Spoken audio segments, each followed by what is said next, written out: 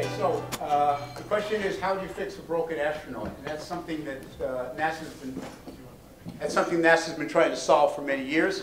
And uh, I was lucky enough to be called upon to help them do it in uh, certain very diverse environments, such as Mount Everest, uh, under the sea, and in, in the sky. Okay, this is Mount Everest, one of the harshest, most remote places on the planet. Uh, if you think about it, the summit is as high, it's at 29,035 feet, that's as high as transatlantic jets fly. And getting, getting to the top of Everest is, is no easy trick. You have to cross some incredibly deep crevasses, like 10 stories deep like this. Then you have to surmount the ice fall, 2,000 feet. And you go on across the uh, ice slopes. You have to traverse these enormous ice slopes, getting higher and higher in on oxygen and finally get near the summit. Uh, the summit is such a harsh, remote, uh, unforgiving place that the wind chill factor at the summit is actually lower than a summer day on Mars. And uh, one of my, I've been there six times. One of my expeditions uh, was in 1996. Everest had the worst storm in its human history. And at that time, I was the only doctor on the mountain. The storm, uh, the storm lasted for two days. And during that time, I took care of the survivors, but eight people died up there uh, over those two days, just people we just couldn't save. And the reason we couldn't save them was because Everest is so, so remote near the summit that uh, the analogy was made that uh, being near the summit of Everest is like being on another planet. Uh, it's that remote and unreachable. Well, that analogy wasn't lost on NASA. And uh, two years later, they invited me to go back to Everest with them uh, to try to test some equipment that they thought could be used in extremely harsh environments uh, for remote uh, sensing of astronauts.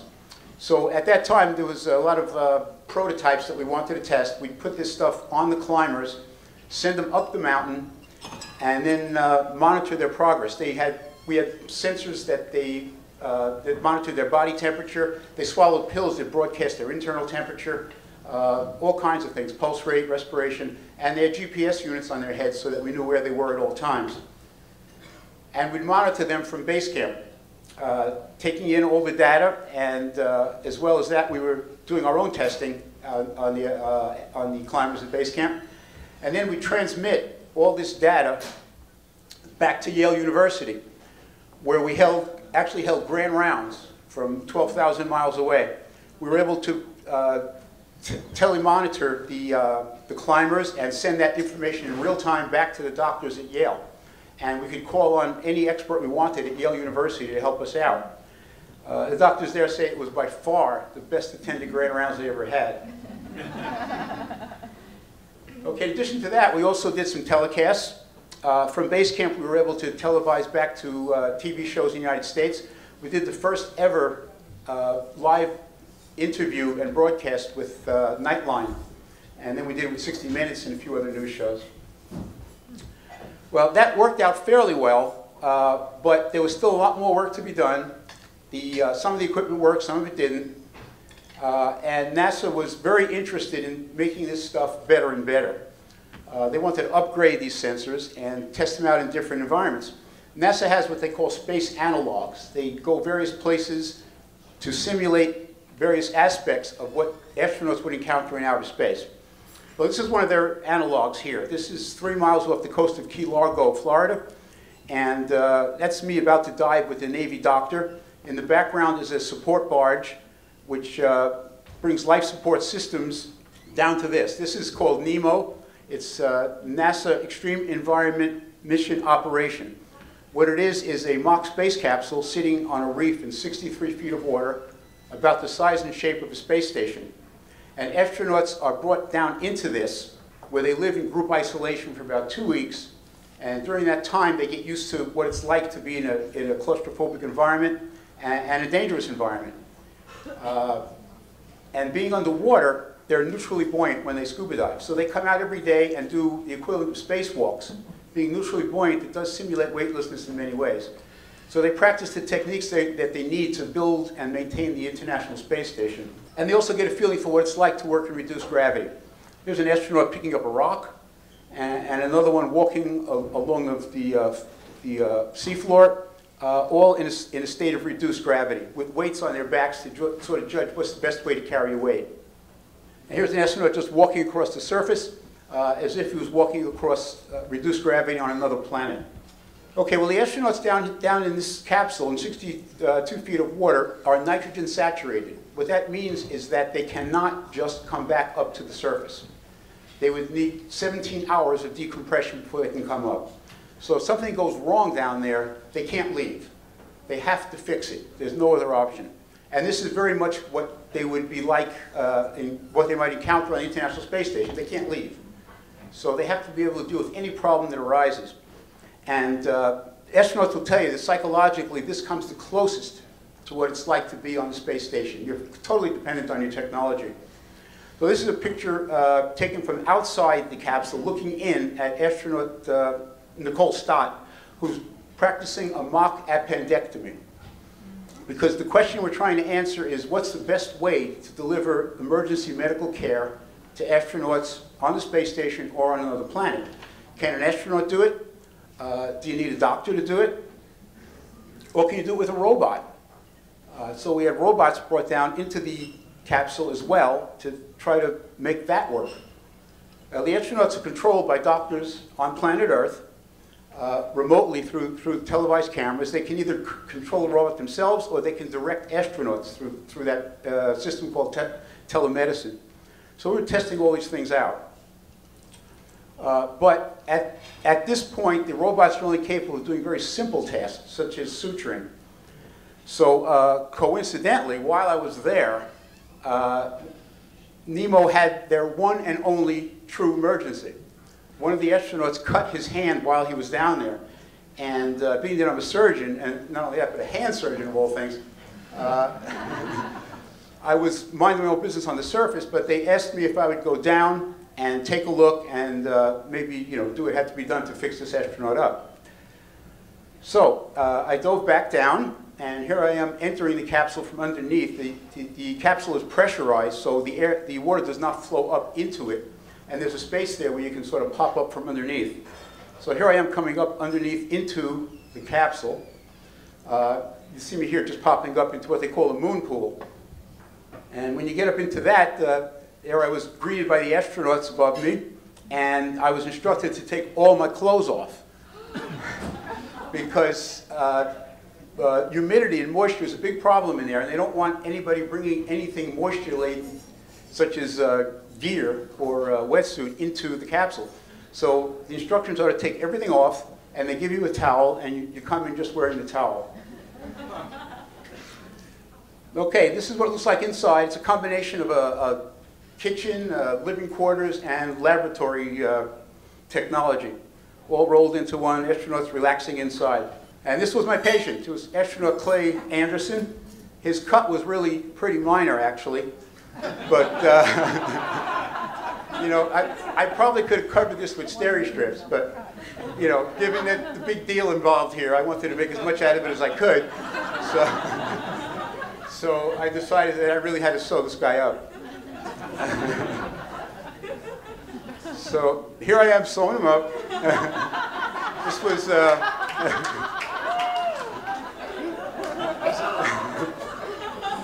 it's a very routine operation, but it's the first time I've ever done surgery wearing only a towel. well, surgery went pretty easily, and uh, here are the astronauts saying goodbye to me, giving me the thumbs up sign one astronaut with his uh, thumb bandaged. And uh, as I left, they, uh, they said, stop by anytime you're in the neighborhood. so uh, that was by far the greatest house call I've ever made. Nothing comes close to that. Okay, but uh, working undersea does simulate space in, in many ways, but not really, uh, it doesn't really simulate weightlessness because in the water there's still friction. Even though you can move up and down effortlessly, there is friction around you from the water. So to really get a, get a good test of what's going on in outer space, you need to go into weightlessness. So this is how NASA does it. They have what they call the Vomit Comet. And uh, it's named that for a good reason. Uh, this is the plane. It's a, C, it's a modified C-9 that uh, takes off from Johnson uh, Space Center in Texas, flies out over the Gulf. It flies up to 32,000 feet, and then nosedives down to, down to 24,000 feet. And uh, it does that over and over and over. Uh, the flight we took, we did it 60 times. And you can imagine what that's like to go up and down through this thing 60 times. Before they let you go on this thing, they give you lessons in how to vomit. They show you how to use the bag because if you're not careful, you wind up with three-dimensional vomit all over the aircraft. so once you pass that test, they let you in the plane. And here it is in one of the dives. So this, this plane is just free falling for 30 seconds. It takes 30 seconds until the pilot uh, pulls out and does it again. So during that 30 seconds, men and machine inside are completely weightless. Anything that's not tied down just floats around the aircraft. So you can have the plane free fall. You can sort of dial up whatever amount of gravity you want. The plane can free fall, in which case you're totally weightless. Or you can ask the, the pilot to fly a parabolic curve, in which case they can simulate less gravity. You can just, you sort of ask, you, you dial up what you want. You say to the pilot, I want moon gravity, I want Mars gravity, I want no gravity, and he'll fly the arc to, to make that happen. So here we are doing some testing in reduced gravity. And uh, here we are actually trying to figure out the best way uh, to do various tests, uh, to do various treatments to astronauts. It's as tricky as you think it might be, it's even trickier. Because when you're in weightlessness, there is absolutely no resistance to anything you do. It's, it's, it's so much not there that if you have a dial on a machine and you try to turn the dial, that resistance is too much, and the dial won't turn, and you will just turn around in, the opposite direction. You go like this, and you just, you just go upside down all around. So you have to stabilize yourself at all times, otherwise you can't get anything done at all. You can imagine trying to do something like CPR in space. You push against somebody's chest, and the chest goes nowhere, and you go flying back across the entire airplane. And they have these million dollar robots and equipment in there, and you have no control over your motion. It's not like you're in water and you can sort of do this and slow yourself or change direction. There's no resistance whatsoever. So once you start moving, uh, your momentum will just carry you wherever it wants to go, and you're totally helpless to stop it. So you really have to be careful. One of the things we were testing is how to tie ourselves down. You can see me there. I have Velcro fasteners across my feet. Uh, that's one thing we were trying because uh, you want to keep your hands free if possible. So we're trying all these techniques. You have 30 seconds to do it, and then the, the pilot pulls out and comes up again, and then you have another 30 seconds. So we did it 60 times, trying various techniques to see what would be the best way to do surgery. Okay, so here's a, uh, one, of the, one of the surgeons, one, a flight surgeon, uh, trying out some techniques, and there's a, an astronaut literally looking over his shoulder, waiting his turn. Uh, when my turn came, it's the greatest thing because when you're doing suturing, you, you tie a knot and then you take the scissor, cut the knot, and then move on to the next one. But when you're in weightlessness, it's great because you can just, you tie a knot, cut it, and then you just put the scissor like that. and it stays there. It's, great. It's just wherever you want it, exactly where you want it, it'll stay if you don't give it any momentum. So you, you do that, you tie the knot, you cut it, you put the scissor back, do the next knot, and take the scissor back. It's great. You could just... uh, astronauts say when they're in space a long time, they get so used to that that when they go home, they pick up a cup of coffee or something and they just let it go. and they don't realize that thing's going to drop. get so used to this. It's easy to get used to. It's a lot of fun. Okay, so we were testing whether or not uh, this should be done by, uh, by doctors or by astronauts. Could an astronaut really do this? You know, do some suturing, or do you need a doctor?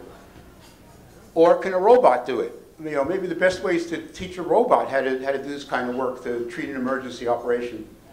So uh, we brought robots on with us as well. And then we had the uh, astronauts and the doctors remote controlling these robots uh, to see just how good we could do this kind of work. What we were primarily uh, doing was testing uh, this, this uh, suturing technique where we just took a plastic block, cut a, a slice into it as a make-believe laceration, and then we would try to sew it together. and we would try it ourselves. The doctors would try it, the astronauts would try it, and the robots would try it. And at the end, we actually took all these blocks and graded them to see who did the best job taking care of this stuff. So uh, the results were, uh, maybe not surprisingly, that the astronauts could sew just as well as the doctors. Uh, and it's not really that surprising when you think about it because uh, astronauts are smart, they're dexterous, they're motivated, and doing something like suturing is a pretty mechanical task. So uh, if it's a simple thing like suturing laceration, the astronauts are every bit as good as the doctors. But uh, when it comes to using judgment, that's where there's a huge difference. Like the astronauts will tell you, if it looks exactly like it does in the book, they're fine.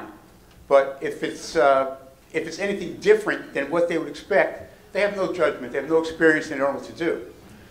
So we found the best system was to have the astronauts actually doing the mechanical work and being monitored uh, back on Earth by doctors who could watch them on TV screens and actually guide them and tell them what they needed to do and uh, have the astronauts follow and make sure that they were doing what they wanted.